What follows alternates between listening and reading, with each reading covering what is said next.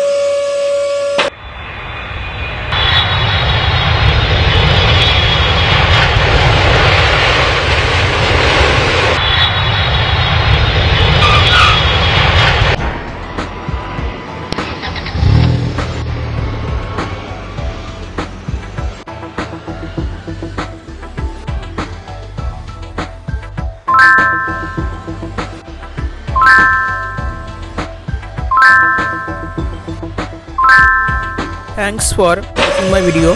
Please subscribe my channel stay with us.